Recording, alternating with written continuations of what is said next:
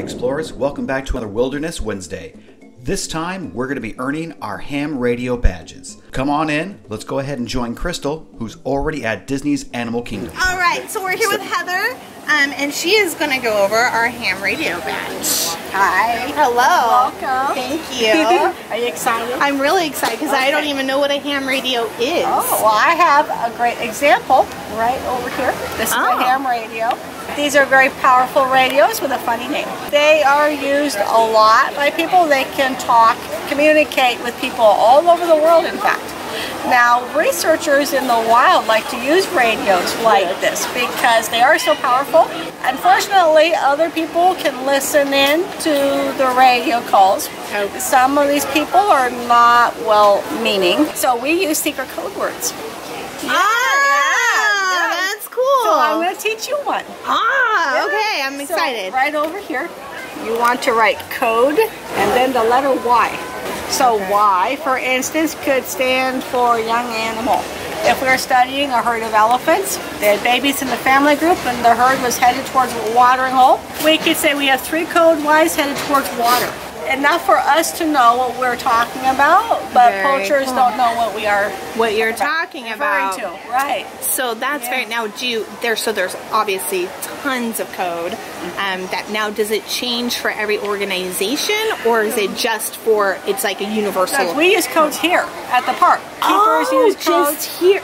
Wow. So Yeah, just yeah, each organization is mm-hmm. different. Yeah. That's so different neat. keepers have different codes that they use, and part of it is efficiency also, so we don't get different departments mixed up.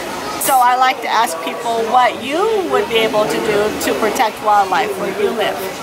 Recycle is my number one. Recycling definitely. Recycle, reuse, just you know, throw away in the trash receptacles is like a huge thing. Being aware of our packaging and thinking about where it's going to end up after you're finished with it. That's very true. plastic wrappers, uh, little single-use fruit cups. If it's better to actually get a larger container of fruit and then put it in Into a, a- a container, that you can reuse. Just Yep. clean it. Yep. Of course. Yep. Another thing you can do is if you get those six packs of soda cans or beer cans, those plastic rings, cut those up. We cut them up. And, yes. and so a lot of animals have specific habitats that is their only life source, like hippos. Hippos rely on water completely. That is where they need to stay cool because they are unable to sweat. so it's like everything to them. Everything. Uh, but there are ecosystems like that everywhere. And a lot of animals rely on other animals. It's a complete circle of dependency. So making sure those habitats stay clean, pay attention to what chemicals we use in our yards that might run off, especially like watching out if it's going to be a rainy week, don't use pesticides because that stuff is going to go right down Right into the water, yes. Yeah, so take a little bit, extra few minutes to just consider what's going to happen if I do this. Like, what's the consequence? consequence? Exactly. I'm Oh, looking have forward to you your sticker. Yes, my badge. Badge. You need a badge. Yes.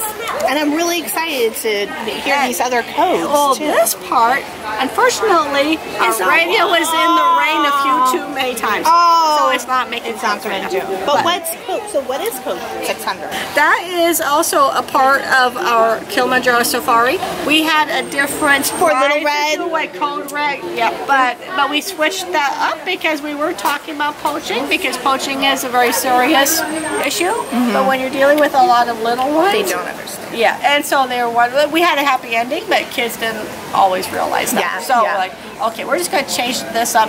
We want to push conservation and awareness, but in a real positive way. Thank you way. so much. Appreciate it. You're very Thank welcome. you. Have a good one. You too. For those at home, we would like to hear about your radio experience.